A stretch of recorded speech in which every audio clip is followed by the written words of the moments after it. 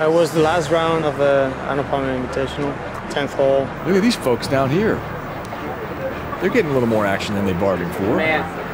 As I was walking there and I saw the people kind of pointing up at the tree and looking up and thinking, nah, I mean, you're kidding me, it can't, it can't be out there. I didn't know where his ball was. And uh, I hit my shot and I looked over and he was climbing up the tree. Careful, Sergio. How about this? Pretty nimble. All right, we're up. Once he got up there, I was kind of thinking, there's no way he can hit this shot. It's right there. You could you can see the ball. It's Yeah, there it is. right there. That's the ball right there.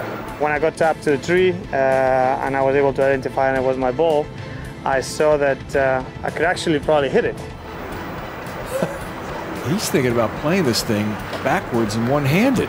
The most difficult thing was the stance. this could be spectacular. Now he's just kind of hanging out, contemplating how he wants to play it. The only real shot that I could uh, get a good grip on it and a good stance on it was kind of like backhanded uh, with the right hand.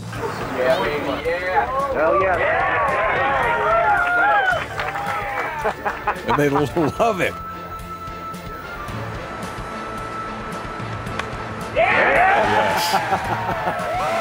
How about that? Fortunately for me, I, you know, I caught it perfectly and probably hit about 30 yards, I would say, uh, into the middle of the fairway.